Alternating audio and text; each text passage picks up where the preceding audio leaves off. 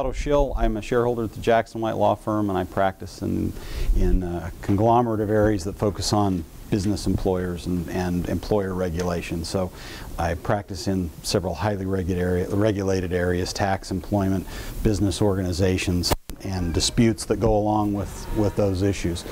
So tell me about you guys. Tell me about this class. What is this class? What are you learning here? Say it louder. Okay. What else? What do you expect to get out of this class?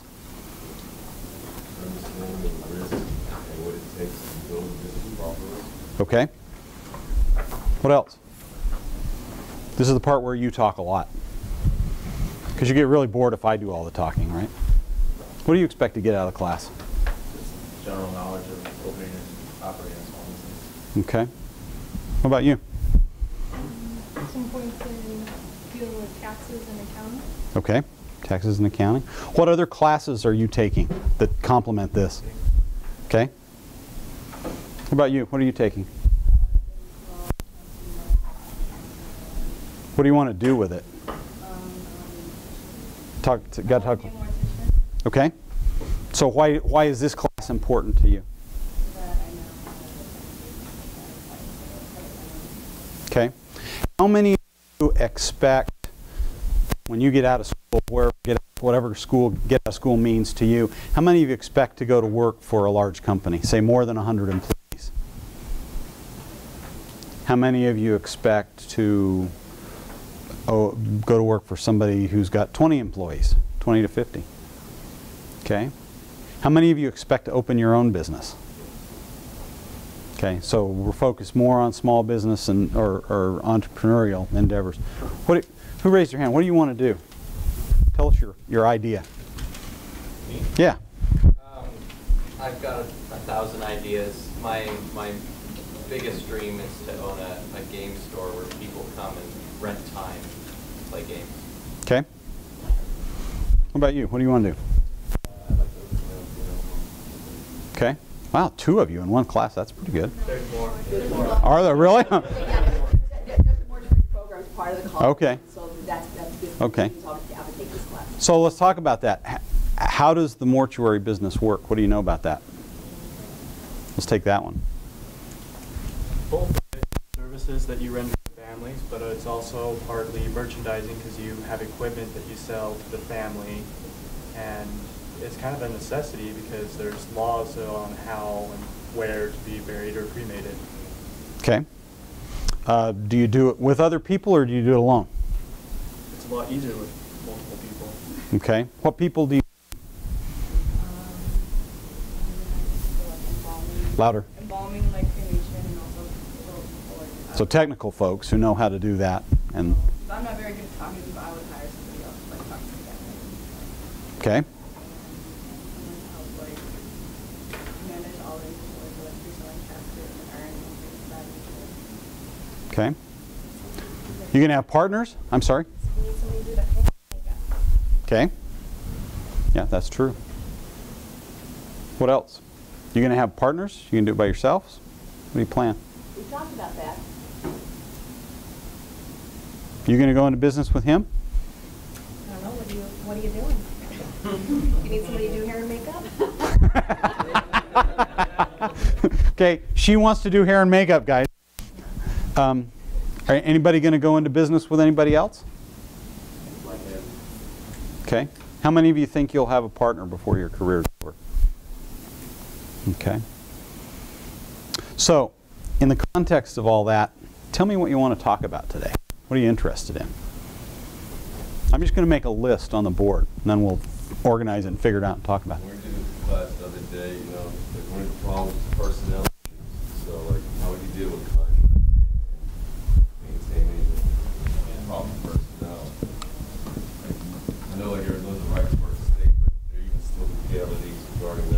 Yeah, you can't shoot them.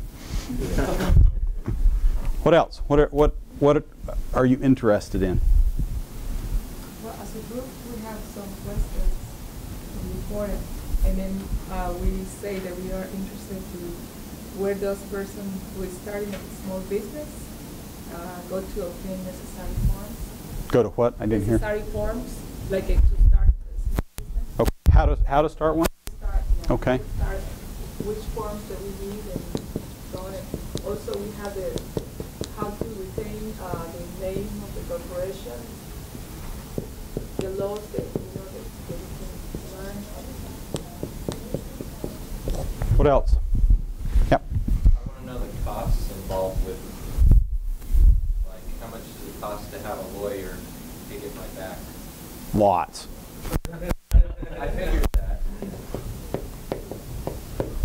answer is it depends. What else? Um, most com- hold on, sorry, no, no, go ahead, go ahead. That's right. We'll get you both. You first. Well, I mean, earlier in the, in the week, we talked about things that we might ask you, one of the questions that I, that we came up with uh, was, would be, uh, the most common problems of starting a partnership. Okay. Most common mistakes, I should say.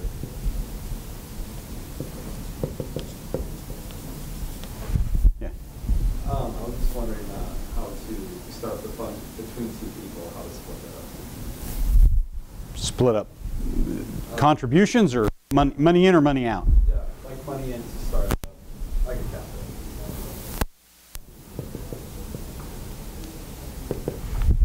Okay. Yeah. Hang on. Go ahead. What are the most common lawsuits?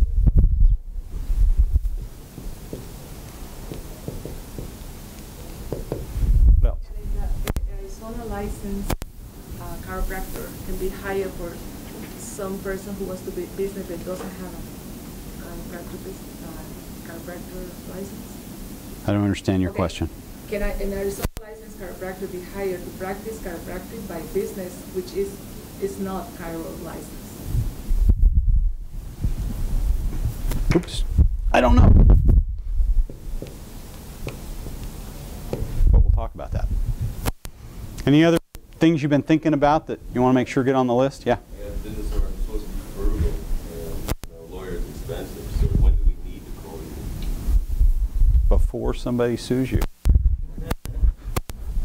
I, I told them in class that, that the, the best attorneys, you know, protect, protect you when you get into court, but the really great attorneys keep you out of court.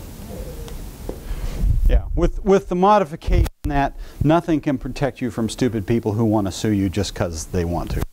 I mean that's. But that's the right point. Anything?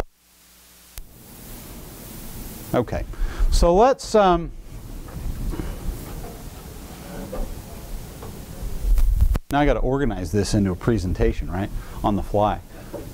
Let Let's do this. Let's talk about. Um, formation, entities, partners, um, details of how to how to do it. Now you can clearly see why I'm not a teacher for a living because no one can read what I write, right? Um, let, let's talk about operations. And let's talk about um, agreements.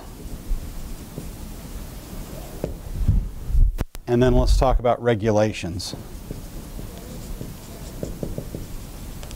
I think that that'll pretty much cover, and then we'll pick up whatever whatever we miss and let let you ask questions.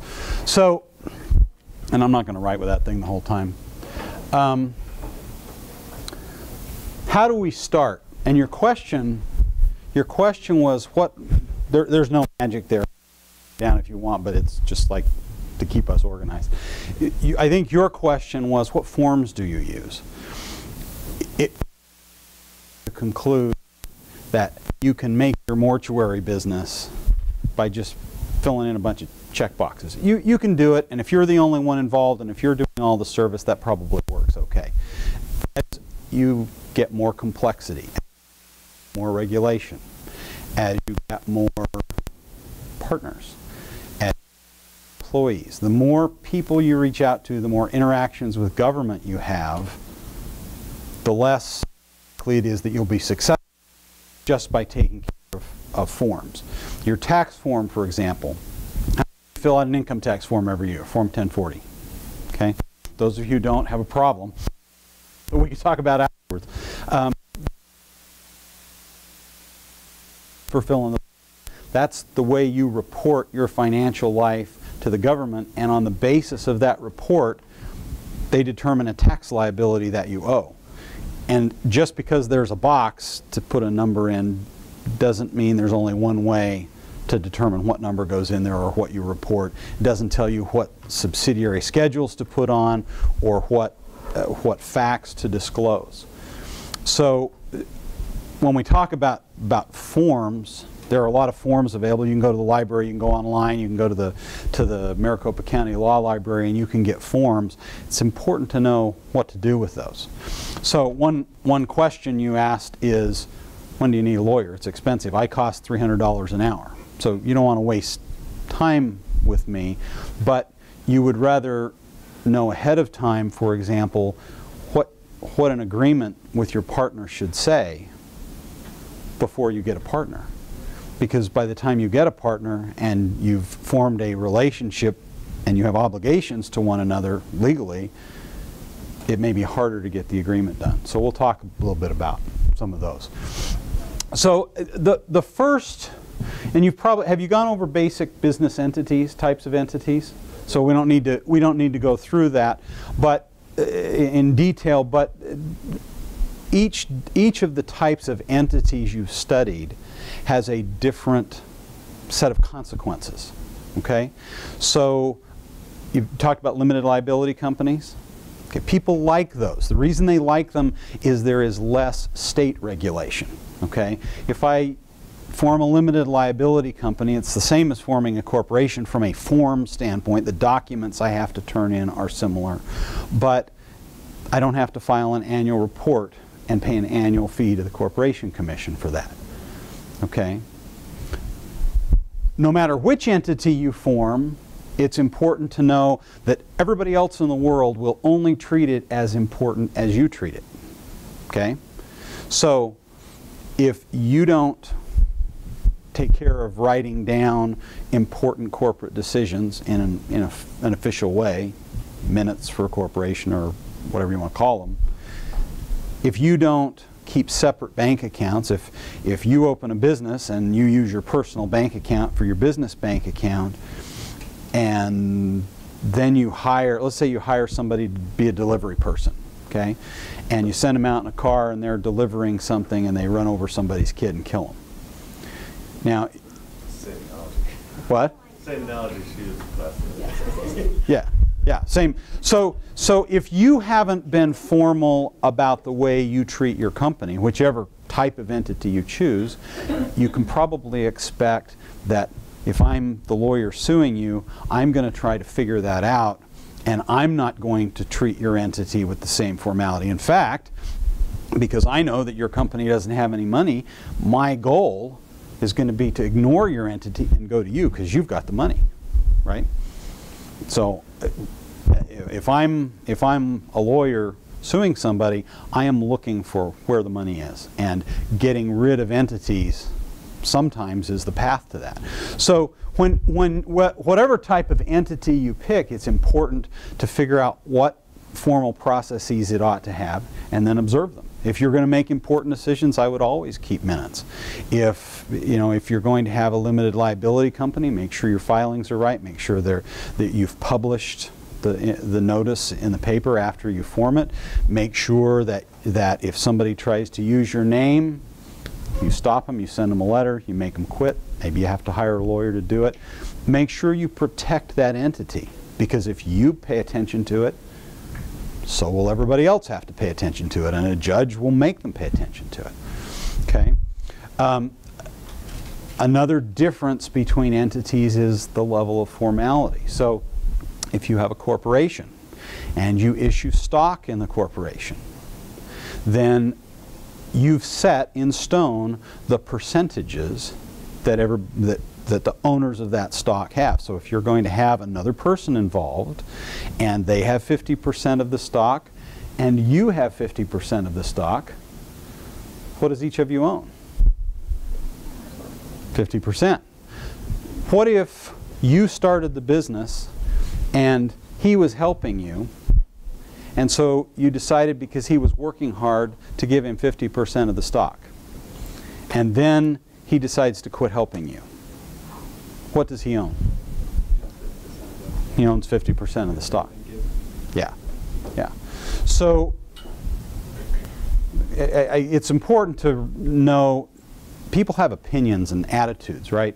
So when when they're working in a business and there's there's ownership involved, you know, you'd think they own IBM by the way they act about it, you know. When the reality is in most small businesses, if you don't go to work every day or I don't go to work every day, there is no money, right? but but more than one dispute has come up because people didn't pay attention to who owns what and and once somebody owns it you can't take it away so when you're forming an entity if it's a corporation and you're passing out stock one you might want to do that in exchange for money and we'll we'll talk about that two you want to make sure that you're you're comfortable with who you're in business with and what they own and then we'll talk about agreements about how to how to deal with that. If you have a limited liability company, how how many of you have heard that a limited liability company is more flexible than a corporation? Anybody heard that? Okay, that that's a common theme, and it is somewhat more flexible in that a limited liability company often is treated as a partnership for federal tax purposes. When you treat it as a partnership, your percentage, un unless you take a different step, your percentage floats with how much money you put in and how much money you take out, right? So if I contribute $100 and you contribute $100, we're each 50%, right? But if then I take a distribution of 50, we're not 50% anymore, right? Okay? So so a, a limited liability company that is treated as a partnership, your interest can float with how much money goes in and out and who puts it in and, and how that works. That results in a whole bunch of different type of planning. Sometimes money goes in as loans, sometimes it goes in with priority distribution so it can only be unequal for a limited period of time and then we'll then you know then we'll make that get paid off fast so we can go back to being 50-50 or 40-60 or whatever we really want to be. Now, can you define the percentage? Sure. You can define the percentage, but there's a cost for everything, right? So if, if we're being taxed as a partnership, that means the Internal Revenue Service in the end will expect us to share profits and losses even in liquidation based on the relative amounts that we've contributed to the business. So we can lock down our percentage in terms of profit sharing and we'll only each get a certain amount of money but if we have to liquidate the business and share losses and liabilities and all those things, there could be tax consequences at the end and somebody could have income charged to them because they'd taken out more, for example, than, than they had put in.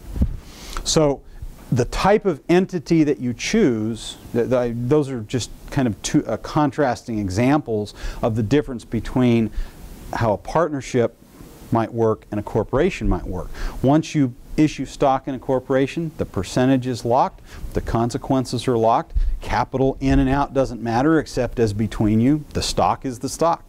Not necessarily so with a limited liability company. Then, how many of you heard of, have heard of S corporations? Okay, so some smart people someplace decided that they wanted, from a tax perspective, to have the same uh, tax consequences that a partnership had, but they wanted a corporation. They wanted that because when all of this started, when, when S corporations came into the Internal Revenue Code, corporations had a lot of liability protection. Limited liability companies hadn't been thought of, and there were no statutes in the state uh, codes to allow you to form a limited liability company, so your choice was partnership or corporation.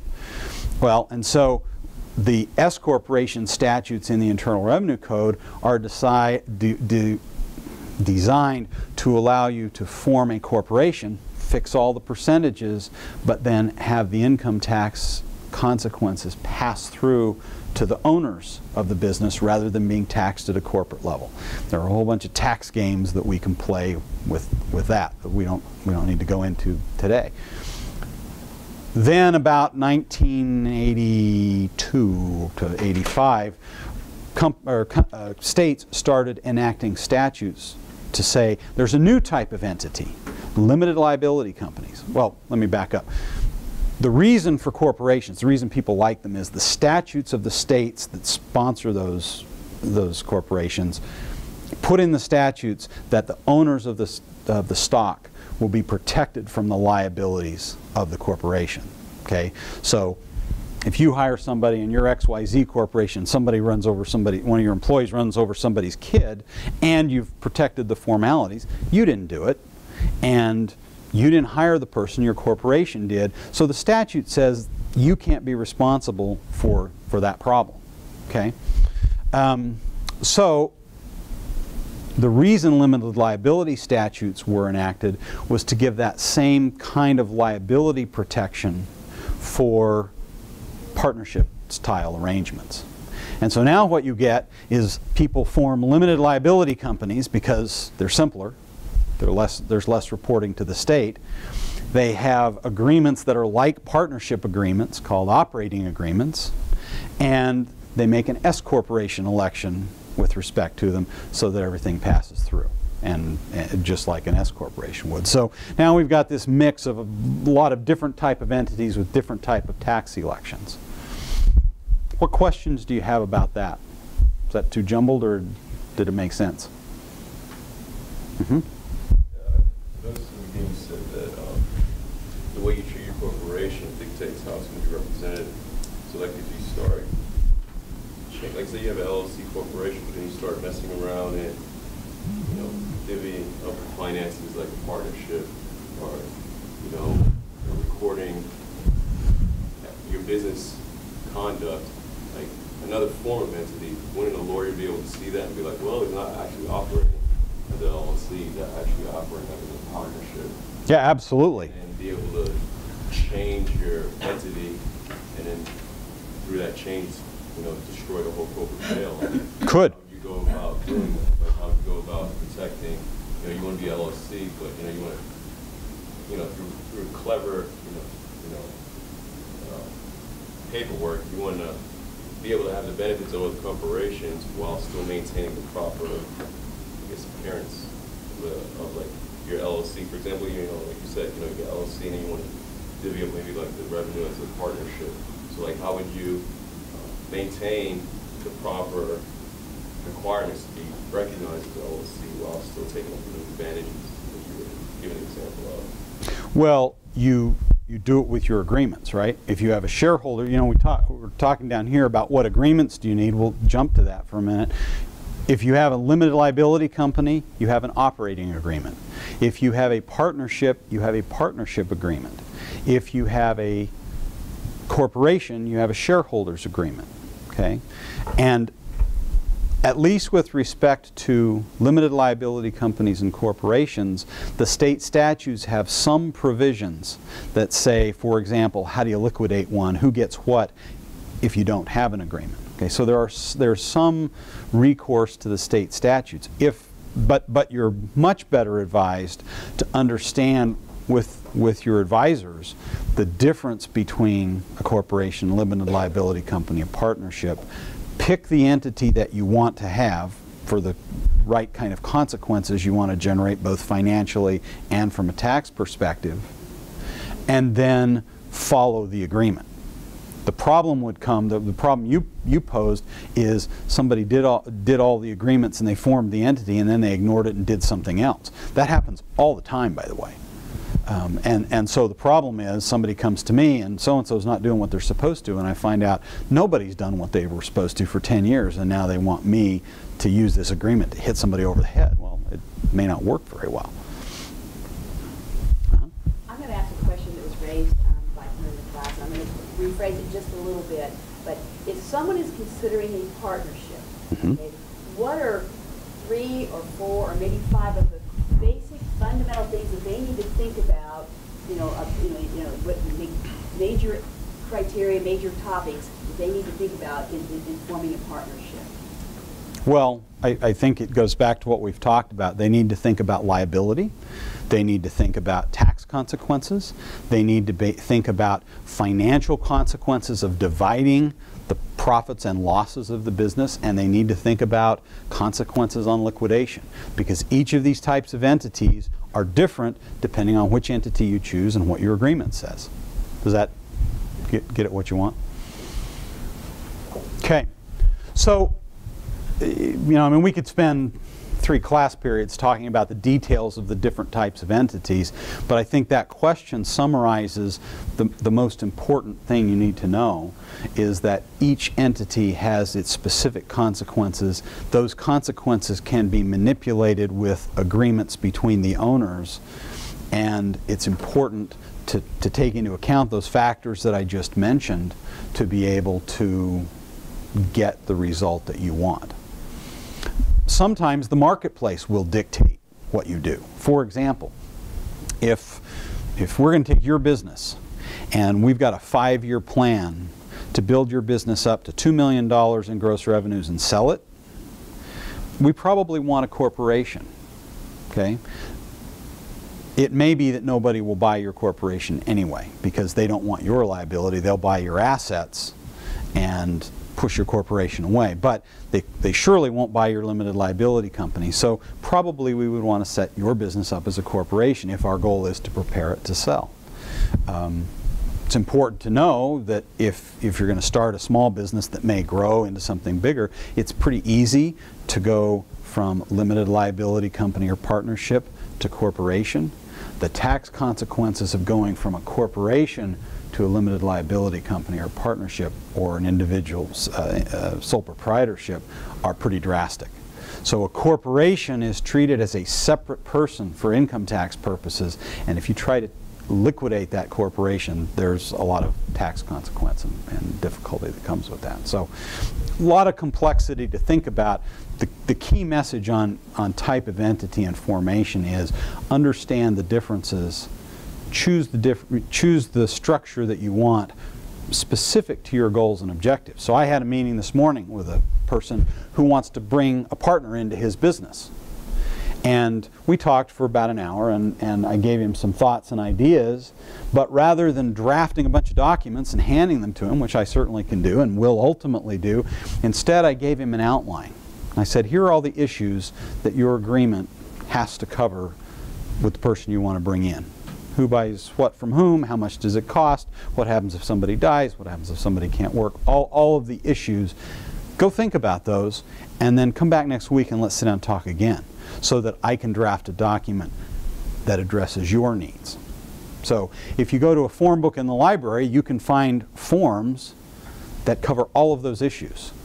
And the trick is knowing which ones to pick and what you want to do and how to, how to combine it into something that works. Both as a guide while you're going along, and heaven forbid you get into a problem in a fight, you can establish what it is you're going to do. Okay?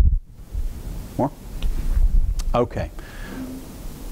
Partners. And by partners, I, I'll, I mean co-owners. What do you think about partners? I had one once that said they were for dancing. So, so how would you bring partners into your business? This is the part where you talk. Yeah. So, so, I have a friend who has a real job. He's not a poor college student, and mm -hmm. he's thinking about. Uh, but you're having more fun, right? Exactly. Yes. Well, hardly. um, he's thinking about backing me in a business venture, and so we're we're talking about what we'll need to do to partners. And so for us, we need to figure out, since he's the money and I'm booze, where the ownership lies. And I suppose we need to talk to a lawyer to get, you know, points like, what if I want out in six months? What if he wants out in a year? You know, mm -hmm. how that'll work. Yep. So since you are talking to a lawyer, let's talk about that for a minute. Let, I mean, let's let's use your example. What what does he want to own? Well, so... Um, Why is he willing to give you money? Let's ask that. How it works is uh, I've got an eBay shop that, with my meager means, has been growing, right? And he's, he thinks that if he puts $2,000 of inventory into it, that I can give him a, a reasonable return. Okay? And so that's, I guess that's where we're at right now. Okay, what does a reasonable return mean to him? Uh, what a reasonable return means to him is he doesn't have to think about it, touch it, or do anything to it, and it brings him five percent into his bank account. For how long? As long as I'm willing to operate, I guess. Okay. What happens if you're not willing to operate? Can he take it over? Does it go away? I don't know, we haven't talked about that. Okay. Um, does he expect, since he's putting up the money, does he think money or the idea is more important? Um, I think, just from what we talked about this last week, I think we're pretty 50-50 because he has no idea how to run the shop and I have no means to get the money. And so I, what it sounds like to me is we're pretty 50-50 on it. He understands that the idea and the operation is worth it to him to give me an equal share. But at the same time, So it's your idea and he's going to give you an equal share. yeah, Okay? Do you see anything wrong with that language? You worried about what you just said? um, no, because I need the money. Okay. So you have to make a choice about what you're willing to give up to get the money. Yeah. How will you feel 10 years from now when you're no longer a poor college student, you're having less fun but making more money, and the store's doing well, and you're giving all the effort, the company's yielding a million dollars a year, and he, he gave you $5,000 to start it? Do you still want to be 50-50? Yeah, because it's just as equal of a chance that he loses his five thousand dollars the first year. I, I think it's, for him, it's a, it's a risk, it's a big risk, because I mean, he's making real money, but two thousand, five thousand dollars is not a small amount for, True. for what he's making, so. For, for anybody, it's not a small amount. Yeah, and, I guess, uh, I feel like it's worth it to me to give him half ownership because otherwise I'll have to wait. And I don't feel like waiting is the right thing for me to do with this idea. Okay. So what's the most important thing for you to do?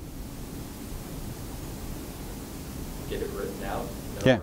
Yeah, have, have an agreement sets forth all the parameters. Because right now, it seems like both of you understand what you each bring to the table and you both think it's worth the same thing. And you don't want that to change, right? You want to lock in what you're going to do for each other now. Or even if you think it should change over time, you're going to lock in how, how you're going to change your financial circumstances so that you never have to have an argument with your friend, right? Now, people can change their minds and take crazy positions, but often they don't if everybody clearly understands up front you're going to be working for the next 25 years and he's putting up a little money now and splitting 50-50 is okay. Right? So you're saying like in, into the operating agreement, we'll put in six months' time from now, I will have this, this share of the corporation, or the, the share of the entity. And in a year from now, we'll be at this point. Is that what you're saying? No, I'm suggesting that one, you would memorialize in the agreement your current feeling about your, the equality of your contributions so that it's set out in words. You won't get that in a book in the library, by the way. It- It's set out in words what you bring and what he brings. You would, you would each own, if, if 50-50 is the number, you might each own 50% now but you would recite to each other in the agreement why that makes good sense. By the way, that's good tax planning too, because then you don't have to worry about explaining to the IRS why nobody gave anybody anything. Okay? Um, but, but you would want to memorialize the basis for your agreement, why you're willing to do what you're doing and why it makes sense long term. You don't have to do it in, in lots of language, but a little nod to that detail may save an argument later on because you can always go back and say, look, this is what we agreed to. And this is what it said, and it's clear, and we're, we're not going to change it. Or we are going to change it, and here's why. But it, it tends to avoid an argument. More? Thoughts? Okay. Can I pose a question? Yes, ma'am. And again, it- the, one of the students said they're looking at a, a- a possible business that they might want to eventually franchise. Mm-hmm. What is the thought they need to think about in the early stages of creating a business if they want to, in the future, to put, put it into a franchise? Franchising is about branding. Okay, how many of you are marketing folks? Come on, somebody's you're taking marketing. Class. Okay. So Marketing person by any means. so marketing, uh, neither am I, but marketing is all about name brand. What does it look like? What does it feel like? How does going in, what's the experience of going into the store or buying the product or whatever it is? If you're going to franchise a business, that's a, a little different model. You're going to have you're going to have other people you're doing business with, but you're not going to be in their pocket and they're not going to be in yours. You're going to create a name, a look, a feel, and you're going to own that name and look and feel. And then you're going to comply with the state and federal laws regarding disclosure, uniform franchise circulars and those sorts of things. And then you're going to sell people the opportunity to have their business look and feel like your idea. So, your McDonald's, every McDonald's is going to look the same or approximately the same based on how you say it will look, and you're going to have an agreement with me that says I can open your McDonald's store under my name. I'll put the McDonald's name on it. I'll decorate it the way you you know you tell me I have to decorate it. I get to keep all the money from it except I have to pay you the fees that are listed in the franchise agreement.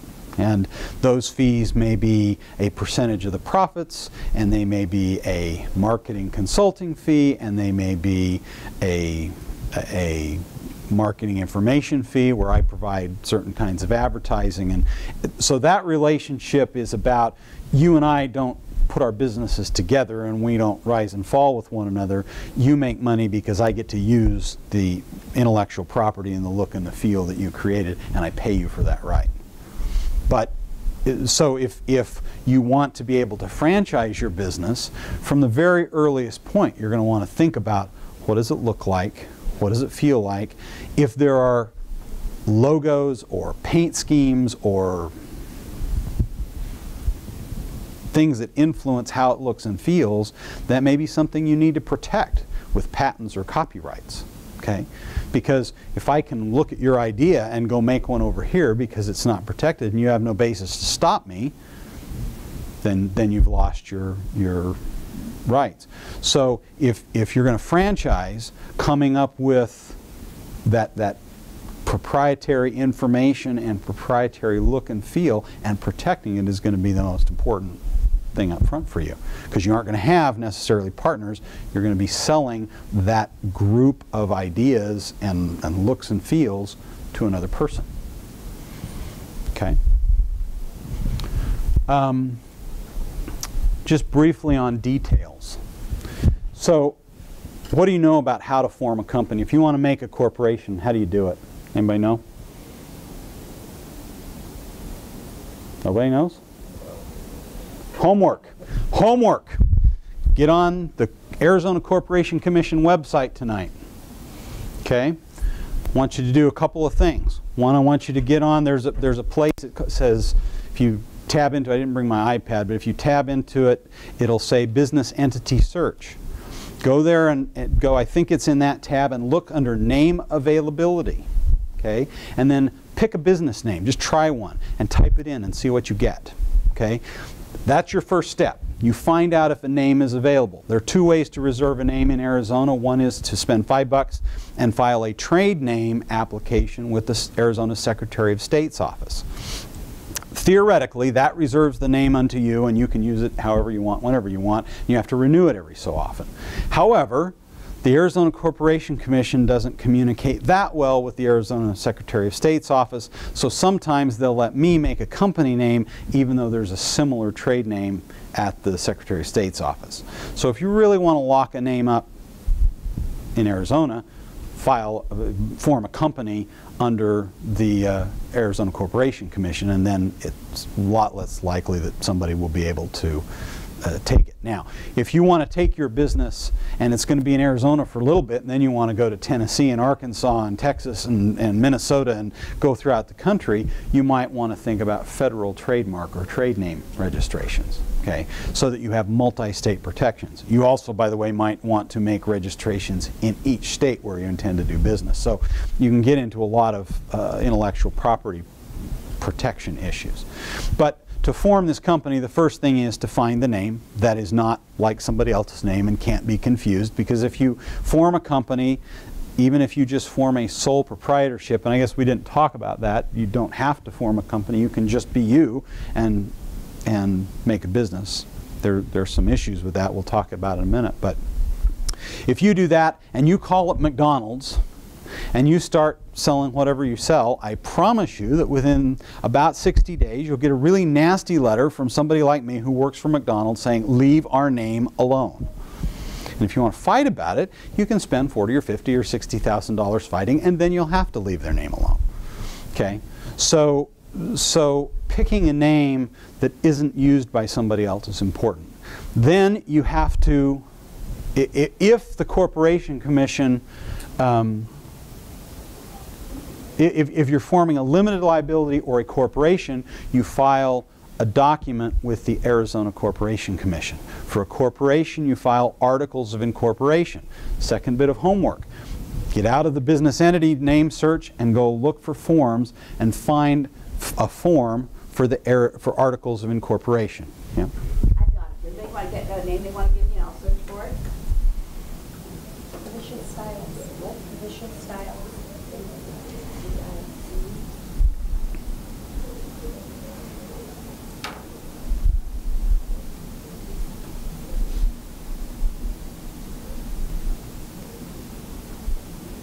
Um, it's listed here as a trade name. Got file number for it. Yeah, so that means, and you can push on that link and it'll take you to the Secretary of State's office and it'll show you who owns it, that sort of thing. Um, so go online and look at articles of incorporation so you see the information they want to know about. If you're making a limited liability company, it's articles of organization. Again, tonight go online and look at that. And she's grading all that, right? um, if you're forming a partnership, you'll register a general partnership or a limited partnership with the Secretary of State's office. Okay, so it's a different place to go. If you're forming a sole proprietorship and it's just going to be you, you don't have to file it at all. But remember, you're at risk. I mean, if, if you set up a company, if your name's Joe and you set up Joe's Barbecue, again, you're going to have a letter from Joe's out in Gilbert saying, hey, leave our name alone, even though it's your name too. So if you don't file something, you're vulnerable to somebody using your name or bumping into somebody who already is using the name. If you file that and the document is acceptable, you got to remember, one thing to remember is the filing fee is I think $65. And nobody should do that for $65. Pay an extra $35 for an expedited fee and you'll get it back in two or three days. If you don't, you'll get it back in two or three months. So here's the story. I'm brand new uh, at, at, doing this kind of law and I go down to the Corporation Commission, I hand carry one of these and I pay my 65 bucks and the lady puts it in a pile. And I said, when can I expect to see it? And we're in June and she says, sometime in October. And I said, well, okay, so how can I get it a little faster? Oh, pay the expedited fee. How much is that? 35 bucks. So I write her a check, give her the check. She pulls my paper off the pile, stamps it approved, and hands it back to me. so, bureaucracy rules, right? Um, so you, you want to pay the expedited fee to get your company back quickly. And then, and then once it comes back, they will tell you you have to publish it, uh, publish the articles in a newspaper of public uh, circulation. So you can publish it anywhere. The cheapest place is the Arizona Capital Times, so most of us use that, but you can do it in the Tribune or the Arizona Republic or wherever you want to. Okay, in the, I think it's in the county that you, you do the business in. Once you do that, you have an entity formed. The next thing you would need to do is you would need to submit a form SS-4 to the Internal Revenue Service to apply for a tax identification number. That form is going to require you to tell them when you expect to pay payroll and how many employees you will have. The reason they care about that is they want to charge you employment taxes and they have all sorts of nasty penalties that apply to the business and to you if you don't pay them. So this is how they start to get their clutches on you, right? So you'll want to file your Form SS4. If you're going to elect to have your corporation or your limited liability be an S corporation, you have two and a half months from the beginning of the first tax year to do it, or the beginning of the tax year. If it's a brand new entity, it starts from the day you form it, two and a half months later. If it's if it's uh, the beginning of, of a calendar year, then you've got till March 15th, which is two and a half months. You can file it ahead of time if you file one in December, you can say it's effective January 1st, and, and then you're within the first two and a half months. But with an S election, you have to be careful to check out the, the time period and make sure you file your election within that time period. One other little detail on that that I, I like to tell people is if you're married, and you're making a company and you want to file an S election, please do not forget to have your spouse sign the S election. Why, you might ask? My spouse doesn't own my stock. It's all in my name. True, but you're in Arizona. We're a community property state. Therefore, your spouse is deemed to own half of everything you own, which is true whether or not we were in a community property state, right? Should still think that. Um, your spouse, by law, owns half of everything you own, and therefore the S election will not be valid unless your spouse and you sign the S election form. So, a, a small detail to care about. Question? Thought? It's way better if you talk than if I talk. Any any questions about formation? Yeah. I do have a question though, like, uh, you're bringing up preferred, I, can't hear you. You got to talk loud. I'm sorry, you were bringing up the points about the proprietary look and feel. Yeah. And you were talking about how it's very important to conforms with kind of like, what would be like the starting point? Is it like a website or is it like particular forms you need to fill out, you know, trademarking, things of that nature? Well, if you'll go to the Secretary of State's website, you can look at the state forms for filing a trade name or trademark app or trade name application uh, there. Federal trademark stuff is more complex. You probably need somebody to help you with that. There are uh, there are paralegals around who can do it. If it's much more complex than just a just a logo or something, I'd probably get a lawyer involved. Those folks are pretty specialized in what they do. Um, the the trick with some of the federal intellectual property filings is you have to research on special databases who has ideas that are like yours. So particularly when you're when you're going from just basic naming issues or logo issues onto product issues. But even in some of the naming issues, you have to do research to make sure you're not bumping into somebody else who has a similar idea. The standard will be is it confusing to the public? Okay? So if what you're doing, if I want to call my company McDonald's with a little m, the question that the, the feds will ask is, is my name and my look going to be confusing to the public? And will it make them think when they're in my shop, they, they're really going to the other store? Okay?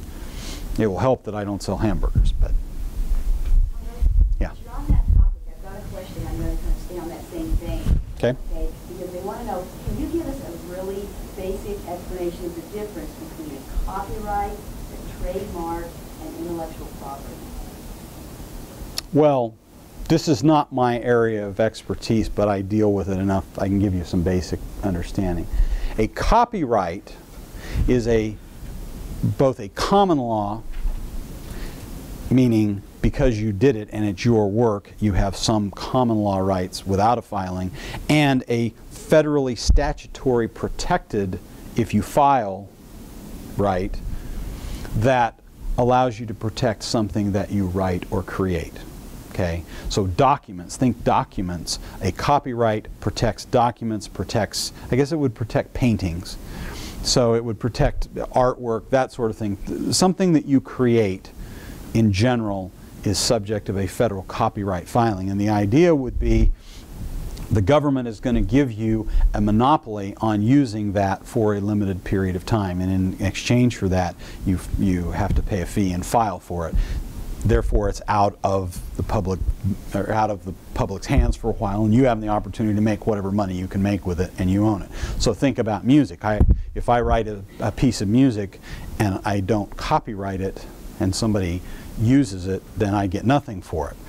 Um, this, this used to happen in the 50s a lot when music was kind of kind of budding in the United States and rock and roll was coming into being and there were a lot of people playing and they were writing things and some of it was pretty good and promoters would go snatch it up for a few dollars because all these poor starving musicians were creating this this music and then they were still performing it, but somebody owned, else owned the right to it. So remember Michael Jackson's book and he owned all the Beatles songs?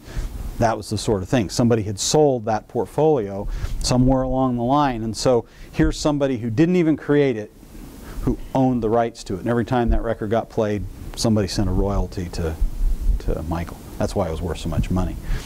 Trade or uh, trademark is a registration that allows you to protect a name and the look of a name. So McDonald's with the, the, the, golden arches, perfect example of a trademark, and that's, I'm sure, a subject of a federal trademark registration. Again, it gives you nationwide protection.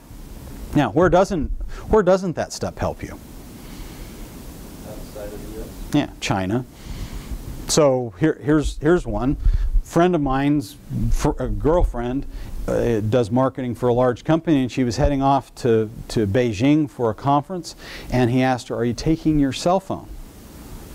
Well, yes, I'm taking my cell phone. No, no, no. You should get a different cell phone because if I have the right kind of device, I can walk right by, by you and I can suck all the information off of your phone onto my device and now I know all your information. And if you happen to be carrying proprietary information, designs, drawings, whatever, now I've got them all.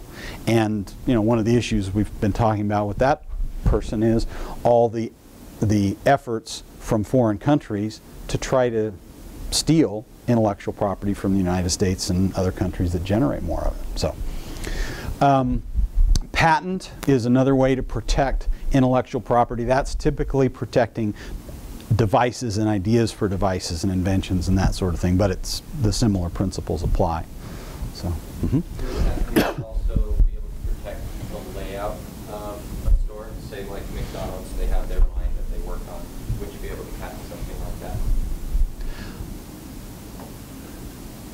I don't know that. I, I don't know enough. I, I, again, I don't practice in that area. I don't. There would be a federal filing that likely would protect that, whether that's a trademark or whether it's a a, a patent. I, am not or copyright. One of those will protect it. I just don't know which one.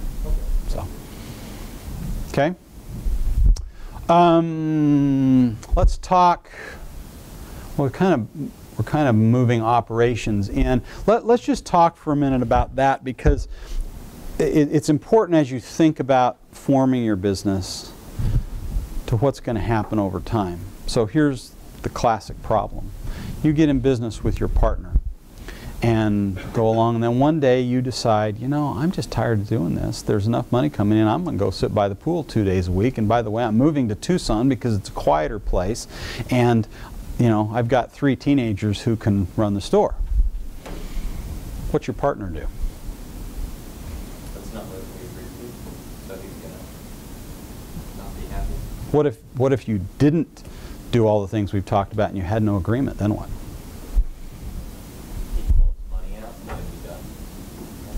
But you formed a corporation. How does he pull his money out? He's not entitled by statute to do that. So now, now you've got a problem where everybody assumed a certain set of facts. We're going to operate this way. You're going to do this. I'm going to do this. You're going to work this much. I'm going to work that much. And none of it's set out.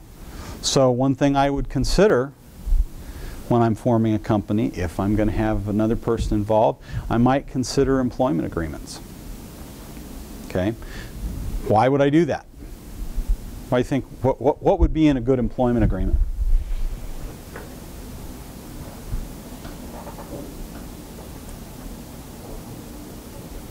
Anybody ideas?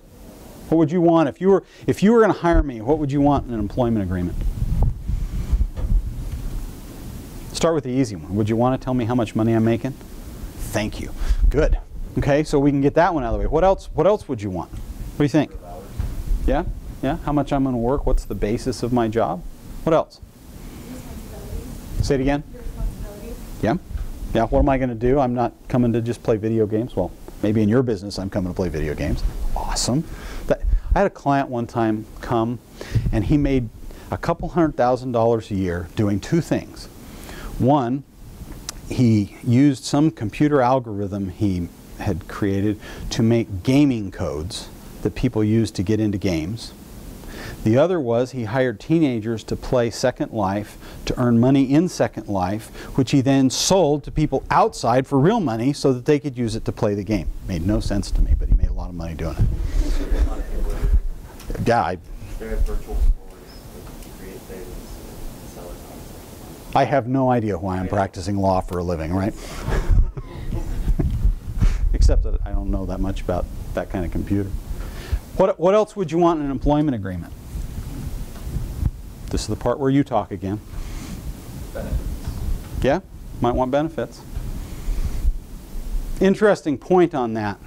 What can you promise? As the employer, hmm I suppose anything that you're willing to provide. I don't. Are you going to promise? Are you going to promise to pay for surgeries? If you're a really nice guy. Here, here, here's the point I'm trying to make. I'm not doing it very well. You don't want to promise something you can't deliver. Okay? So my my employment agreements would typically say something like the employee shall be entitled to participate in the benefit plans sponsored from time to time by the employer in accordance with the terms and conditions of those plans. Now what I've done is I've said you can have benefits if I give them to you, when I give them to you, depending on what I give to you, and the plan will tell you what you get so that I never promise something that the insurance company won't give because most of the benefits are insured. What about protecting your property? What about, what about protecting your property? What, what do you want in there about that?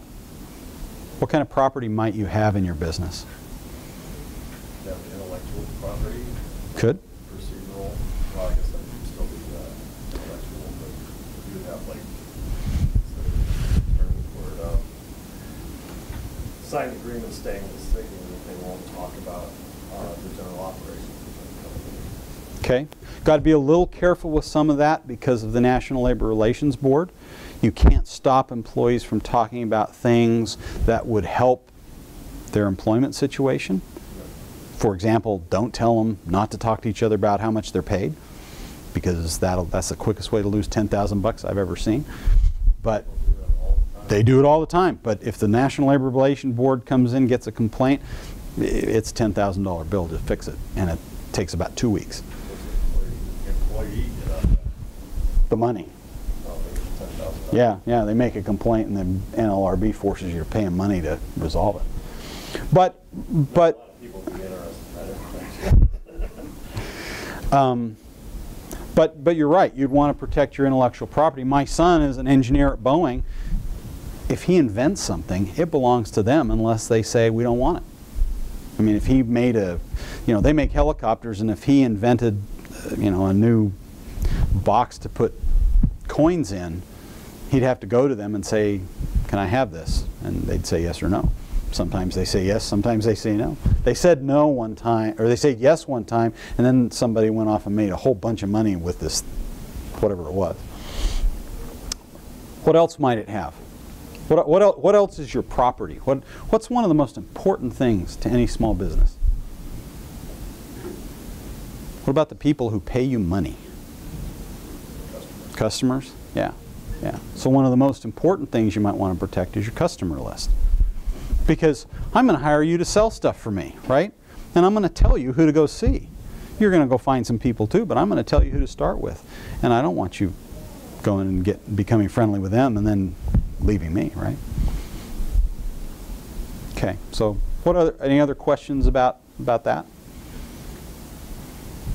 Since you're on the vein of, of employment, Mhm. okay, you know, yeah, one of the big issues that's been going around in Arizona has to do with how do you ensure you've got legal employees Okay, can you, can you address that a little bit? Because I trust that, that some of these people are gonna open businesses and they're gonna probably end up with a few employees.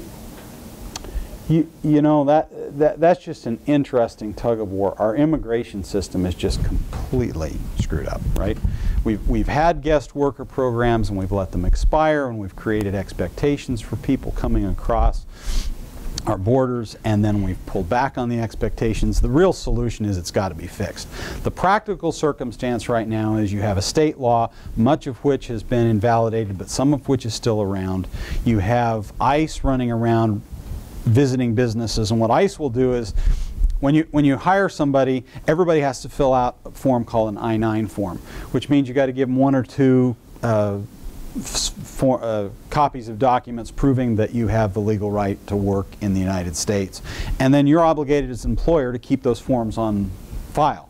And ICE will come in, the Immigration Naturalization Service will come in and actually ask to review your forms and they'll take them off to their office and they'll check people out. Um, there will be a different consequence if you're intentionally hiring people who you know aren't legal than if you aren't. And, and the, you know, the trouble is people figured out how to make documents, right? So the conundrum for employers is, do I keep copies of all the documents they give me and then I can show the investigator that I was diligent and I looked at the documents because that's my only legal obligation. But if I do that, then I expose myself to the claim by the investigator that oh, you should have known that was a fake driver's license.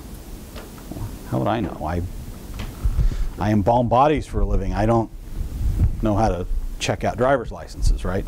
But so some people keep copies and some don't. Um, it's important to be able to demonstrate that you reviewed those. So an I-9 has you sign your name saying the, the, employee signs it saying, I verify this is true and I've showed you this document that document, and the employer signs the name saying, I've, uh, you know, I've looked at this, I've inspected these documents, that was my legal obligation. Most people would keep copies, not everybody does. But, uh, you know, that's one thing. You know, the other thing is you can't just turn around and fire somebody. So I had a client one time who found out a lady was illegal and using her sister's name because they'll, you know, people who are trying to stay under the radar will use different names. They'll use forged documents. They'll do whatever, whatever they are doing. And you can't just fire them. I mean, if you've got somebody, for example, who's come up from Mexico, uh, that could be race discrimination, right, or national origin discrimination. You can get a lawsuit over that. So what you do is you say, look, your documents don't match up. We've run, when somebody first is hired, you can run them through a federal database called E-Verify, and you can find out if E-Verify, the federal system, thinks they're legal. That is not foolproof, by the way. The, data, the database is not perfect. But I would certainly keep documentation to prove that I had done that. And then if, despite all those efforts, you find out you've got a problem, you tell the person, look, 30 days and figure this out. This says your social security number doesn't match. I don't know why. Go figure it out. And you give them time to figure it out. If ultimately they can't get it resolved, then you can terminate them. But you have to give them the opportunity, or at least you're prudent to give them the opportunity if, you know, if you do that. So it's, it's sort of, a, sort of an, a really unresolved problem. Here's the other scary thing about immigration. Last year, 95,000 people came across our southern border illegally who were not from Mexico. Many of whom may have been from countries that sponsor terrorism and you know who knows who they are, right? So it's just a big broken problem that, that we got to worry about. You're about ready for me to be done? Yeah, this, this is the time. Let me, let me jump. We've talked a little bit about the agreement, so I don't know that we need to spend a lot more time on that. Let's talk about regulations for a minute. So if you have a small business, several things, you know, there's the Internal Revenue Service who we know and love, right? They're, they're going to care about income taxes. They're going to care about payroll taxes. They're going to care about excise taxes. What else are they going to care about? They're going to care about taxes having to do with employee benefit plans. Um, highly regulated area. So you asked, when do you need a good lawyer, in the beginning it makes sense to establish a relationship with some trusted advisors. good CPA, good lawyer, uh, maybe a good business advisor, although, you know, some of those outside of CPAs and lawyers, you know, some of them are just sales guys, so you got to be careful. But it's important to have people you can call on when something arises. You may not use them very much. You'll probably use your CPA more than your lawyer. But pretty important to have somebody you can ask questions of. Um, particularly tax questions. Income taxes are pretty easy. You're earning income and you're reporting income and expenses on your tax return. But if you start transferring ownership, if you start changing entities, if you start liquidating or merging, those, those things get fairly complex and, and are difficult. You have, uh, in addition, you have the Equal Employment Opportunity Commission, which is going to regulate the, uh, the Title VII discrimination laws. Uh, those, those are really important. Can't discriminate on the basis of sex, national origin, um, race, color, you know, the typically protected classes, yeah? When was that, that basic law initially passed? Holy cow, 19, I won't get it right, uh, more than 40 years ago. Okay, More than 40 years ago. Do you have any idea of either, either the- the size or the number of claims that are still being filed on that, on that law that are, that are creating problems for businesses? I have a partner who does only that, and there are many people who do only that in the country. It's a huge area. I mean, all right, another story. So I'm in law school, right? This is like 300 million years ago. Um, and I remember the American Bar Journal came out with a magazine, and the, the story reported was of a law firm, of all things, who had a, a, a bunch of summer associate people from law school come work for them to see if they wanted to be lawyers there. And one of their activities was a wet t-shirt contest with the lady people who came for their program. You know, holy cow, you know. Today, if if you did that, you'd, you'd be in a huge lawsuit. So th- that continues to be a huge area of litigation. And and the, the dumb thing about that, and this is this is really important for your businesses. The dumb thing about that is, for the most part, it's legislating courtesy, right? I, I mean, most of it is common sense, and people don't stop and think about what they say and what who they say it to. And you know, sometimes if you just don't say it, you're better off. Uh, the National Labor Relations Board I mentioned, that is mostly the National Labor Relations Board deals with unions, but not not all. So there is a portion of the National Labor Relations Act that allows employees to engage in concerted activity, meaning whatever they think that is that improves their situation. Often what they what that's interpreted as as picketing or demonstrating, right? But it also means don't be too limiting on what your employees say to one another. This should make you pause to think whether you really want employees, right? And some, some people choose not to. Now, I will tell you uh, th- that in, in these statutes, it doesn't always help to say, fine, here's a company over here, and it's got all the employees, and I am a company by myself, and I have no employees, but I will hire that company to provide employees. They thought of that, and so you can combine companies. You can combine them for discrimination purposes, workers' comp purposes, tax purposes, employee benefits purposes. There are a whole bunch of rules about how you bring companies together. Um, one of the newest areas of regulation that's causing people a lot of consternation is the Affordable Care Act. How many of you heard much about that? Yeah, so, so difficulty with the Affordable Care Act is everybody who has 50 or more employees has to provide health insurance. And they, it's a three-part stool, right? Tax on the employer if they don't, tax on the insurance companies on premium revenue, and tax on individuals if they don't have health insurance. So, and there's all sorts of complexities that are causing trouble there. Uh, there's also safety regulators out there. So you may have your operation going on and one day there's a knock at the door and it's somebody from the Arizona Department of Health and Safety and they want to inspect to make sure that you've complied with the rules from a set of books that big and uh, you know are all the yellow lines on the floor and guards on the machines or whatever the safety issues are for the chemicals in your business and that can cause you we just settled a case last week. Um, we finally got the $70,000 fine down to $30,000, but not without significant pain and suffering on the business's part. So uh, detailed safety regulations are, are a big issue. What else am I missing? Department of Labor. Department of Labor is fun because they, they like to make sure that for every hour in which your employee who is not exempt works in excess of 40 per week, they get paid time and a half for, for their rate of pay. And if you don't do it, they like to come in and penalize you, and it can be double damages or under state law, even treble the amount of the wages.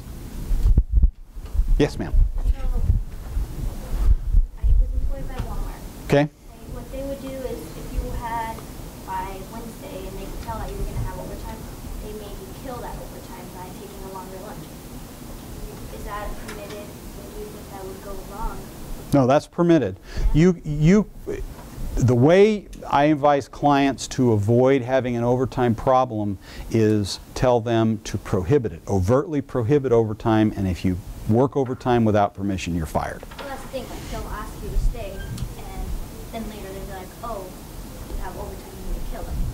So the, the issue then would become, are you at, on a lunch break at the store for their convenience or your convenience?